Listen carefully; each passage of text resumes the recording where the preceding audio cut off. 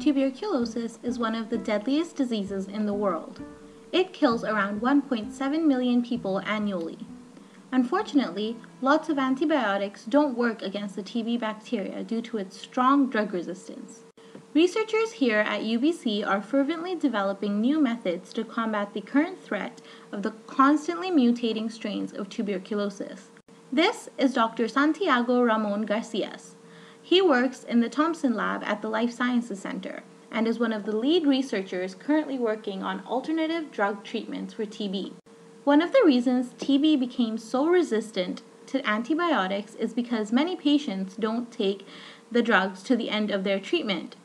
When they start to feel better, they stop taking the drugs. This period without the antibiotics allows the remaining TB cells to develop new ways to combat the antibiotics. And when the symptoms start coming back, the same antibiotics no longer have an effect. This is a, a big problem because there are only a few drugs that are actually active against tuberculosis. The drugs that are being researched act together in certain combinations to amplify or enhance the activity of one particular drug. When TB develops resistance to antibiotics, it's like a fortress that becomes impenetrable by the antibiotic. Synergistic drugs are like spies that infiltrate the fortress and compromise its defense system.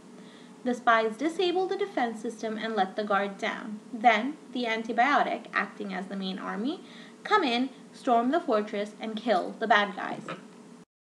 In this research, Dr. Santiago and the other researchers used a replacement bacterium, Smegmatis, similar to the TB bacteria, to, as a test subject. Tuberculosis is a CL3 pathogen. CL3 means containment level 3 pathogen. As I said, it's transmitted by the air. So when you're working with tuberculosis, you cannot work in an open area like this one. Additionally, the growth of the TB bacteria must also be considered. Uh, another problem is that tuberculosis grows very, very slowly.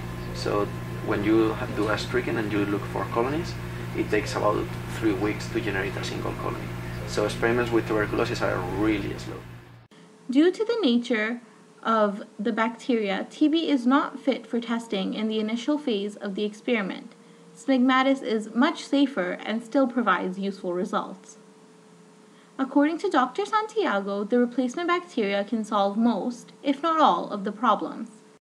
To identify what chemical combinations inhibit the growth of the replacement bacteria, they added variety of existing approved drugs together with an antibiotic that has no effect on TB.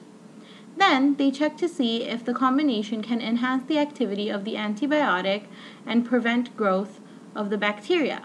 Researchers use robotic facilities to combine and screen thousands of these combinations in a short period of time. Even after testing all these combinations on Smegmatis, the researchers must test selected combinations on the TB bacteria as well. Key findings is that we can improve the activity of spectinomycin. Okay. This finding was crucial because the results showed that using particular antibiotic with other existing drugs has an effect on inhibiting TB bacteria growth. And with these findings, he hopes to come up with a new line of drug therapy that can revolutionize the way we treat TB today.